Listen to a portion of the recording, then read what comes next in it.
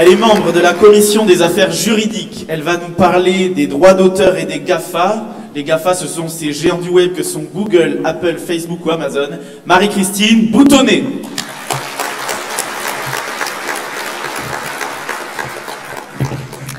Mes chers amis, tout d'abord, un grand merci, mon cher Steve, pour cette invitation dans cette belle ville dont, ah oui, dont tu présides avec brio Destinée.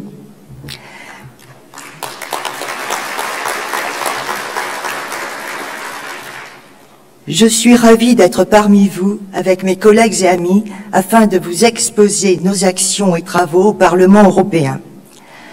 Je profiterai de ces quelques minutes pour vous parler d'un sujet qui me tient à cœur et sur lequel je travaille depuis près de deux ans. Il s'agit de la réforme du droit d'auteur dans le marché numérique, pour laquelle je suis shadow rapporteur en commission des affaires juridiques.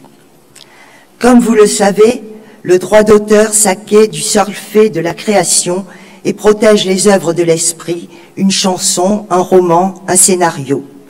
Il confère à l'auteur de la création des droits patrimoniaux, comme le droit de reproduction et un droit moral, le respect de l'œuvre notamment. Le projet de directive en cours de négociation vise à moderniser et à adapter les règles du droit d'auteur européen à l'environnement numérique. Elle a pour projet notamment de rendre obligatoire un, certain nombre d'exceptions et limitations au droit d'auteur pour des utilisations numériques. La plupart existent déjà en droit français. En décembre dernier, nous avons gagné une première bataille sur un texte prioritaire de la Commission, véritable victoire dans la protection de la culture française et européenne. Je passerai cependant sur les détails de ce texte, risquant de vous assoupir tant le sujet en était complexe. Forte de ce succès, je pèse toutes mes forces dans les négociations afin qu'un niveau élevé de protection des auteurs et une juste rémunération des créateurs et interprètes soient préservés, et particulièrement face aux GAFA. Les GAFA, Google, Apple, Facebook, Amazon, ce sont les entreprises de cet oligopole comme les qualifie Nicolas Bavrez, capitaliste patenté. Vous utilisez leurs applications, leurs sites, leurs plateformes tous les jours, et tous les jours vous entendez parler de leur puissance. L'évolution fulgurante de l'Internet, des technologies, a transformé la façon dont les œuvres et autres objets sont protégés, sont créés, produits, diffusés et exploités. Nous n'écoutons plus de la musique de la même façon qu'il y a une dizaine d'années. Ces technologies ont bouleversé nos comportements, et ce, au profit de ces grandes entreprises.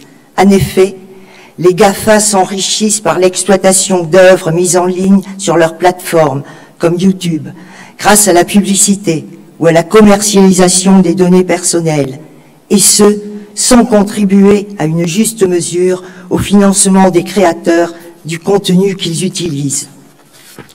Pour vous donner un exemple concret, en 2017, 272 millions d'abonnés payants ou gratuits de services de musique en ligne comme Spotify ou Deezer ont généré 5 milliards de dollars au profit des créateurs.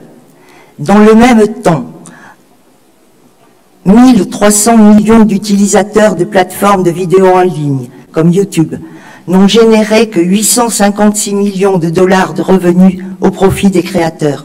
En d'autres termes, quand vous utilisez Spotify ou Deezer, vous générez approximativement 20 euros au profit des créateurs. Quand vous utilisez YouTube, moins d'un euro arrive dans la poche de ceux-ci.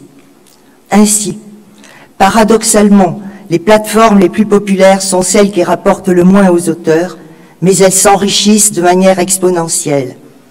Des plateformes comme YouTube, qui appartient à Google, se réfugient derrière le statut juridique obsolète d'hébergeur pour éviter de négocier correctement avec les auteurs et les producteurs. Cette distorsion dans le partage de la valeur est ce que l'on appelle le transfert de valeur ou value gap. L'article 13 du projet de directive sur le droit d'auteur vise à régler ce problème je m'y emploie avec ardeur dans les réunions de négociation. Ces plateformes doivent absolument conclure des accords de licence avec les créateurs dont elles utilisent le contenu. De même, elles doivent prendre des mesures afin d'éviter que du contenu illicite, c'est-à-dire sans l'autorisation du créateur, ne se retrouve sur ces plateformes. Ces géants de la Silicon Valley pillent le contenu culturel français et européen sans rémunérer nos créateurs. Elles vendent très cher vos données personnelles à votre insu. Vous avez entendu parler tous du scandale Facebook qui chaque jour aspire les milliards de données de ses utilisateurs pour les vendre à des applications commerciales. Et, en plus de cela, elle pratique une concurrence déloyale acharnée par une optimisation fiscale forcenée, empêchant ainsi l'émergence d'entreprises françaises ou européennes qui pourraient les concurrencer. Et ce, grâce à un vide juridique encadrant leurs activités, grâce également à la complicité d'États comme le Luxembourg ou l'Irlande. C'est proprement scandaleux. Nous devons remettre à leur juste place ces entreprises, plus puissantes que nombre d'États et qui se placent au-dessus de nos lois. Cette lutte doit s'articuler autour de trois piliers. Leur taxation effective, la protection de nos données personnelles et la protection de nos industries culturelles et créatives. L'Europe peut et doit agir. C'est sur ces sujets qu'elle doit se concentrer. Cela correspond pleinement à notre vision d'une Europe des nations et de la coopération. Il est temps de dire à ces mastodontes de l'Internet que l'Europe telle que nous la voyons n'est pas un grand marché à ciel ouvert où ils peuvent se servir librement, gratuitement, impunément. C'est uniquement au niveau des concerts des nations de l'Europe, Patrick Molière et de Beethoven, mais aussi de Johnny et de Modiano, que nous parviendrons à protéger notre culture, mais aussi de permettre à de futurs Mozart ou Van Gogh de voir le jour et de pouvoir vivre de leur création, et ainsi continuer à nous élever et à nous émerveiller. La culture est de l'ordre de l'intime, c'est un enjeu de civilisation. Malraux disait que la culture ne s'hérite pas, elle se conquiert. Je le constate tous les jours dans ma mission de parlementaire. Je vous remercie.